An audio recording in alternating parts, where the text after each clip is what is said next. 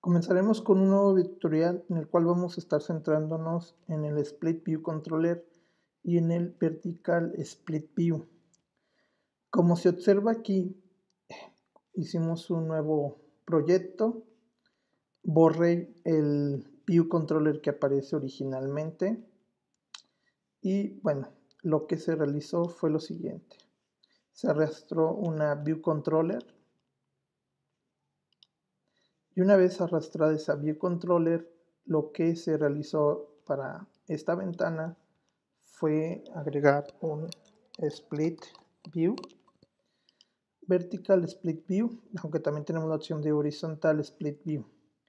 Y bueno, esta, esta, esta forma de dividir la, la, pantalla en dos partes es muy, muy buena eh, en cuanto a la parte de la usabilidad, dependiendo de lo que se esté realizando. Por ejemplo, hay muchos ejercicios en los cuales aquí se visualiza un menú y aquí el contenido cada vez que se le presiona a uno de estos ítems.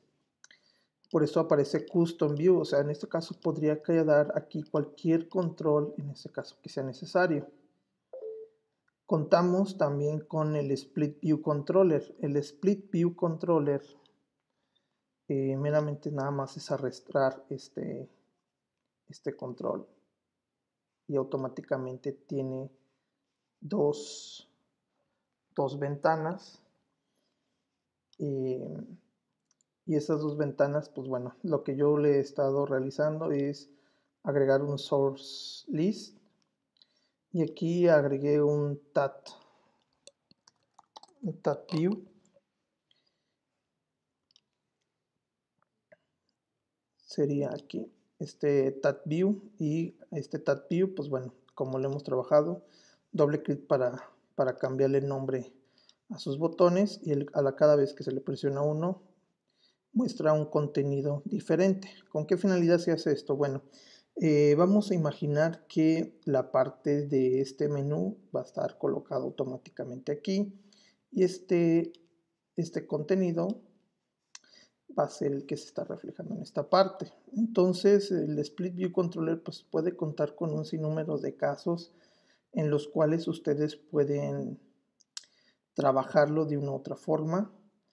Por ejemplo, bueno, pues, si queremos relacionar cómo, cómo se va a ver este View Controller, lo único que voy a ir ahí a Window, Window View Controller, voy a presionar la tecla Control, lo voy a arrastrar hacia acá, lo voy a lo voy a poner window content y voy a ejecutar nuestra aplicación. Ahorita debe aparecer nuestra aplicación y bueno, aquí vemos meramente es un menú que se puede estar dimensionando y bueno, el contenido obviamente también puede ser más grande. Si diera el caso que nosotros optáramos por el Split View Controller, tenemos que tener en cuenta dos cosas. Automáticamente, a la hora de que nosotros arrastramos un eh, Split View Controller, automáticamente nos arroja dos ventanas.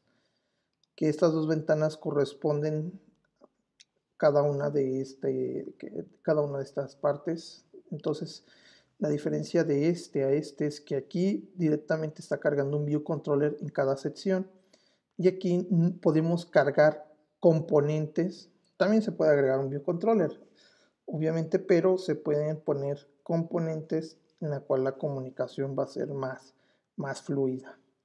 Y bueno, lo que se realizó en este ejercicio meramente es para que ustedes vieran eh, el uso del Split View Controller y meramente ver en qué casos podría aplicarse el Split View Controller y en este caso la parte del Split View, que es una de las, de las partes importantes.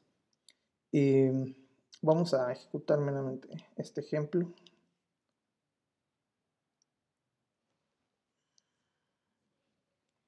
Aquí debería aparecer el menú y una vez parecido este menú. Esta es una, una table, obviamente personalizada con la finalidad de que quede aquí un menú de como si fuese lista. Y bueno, como les estaba mencionando sobre el Tab View, aquí tiene pues eh, un contenedor para poner varios componentes.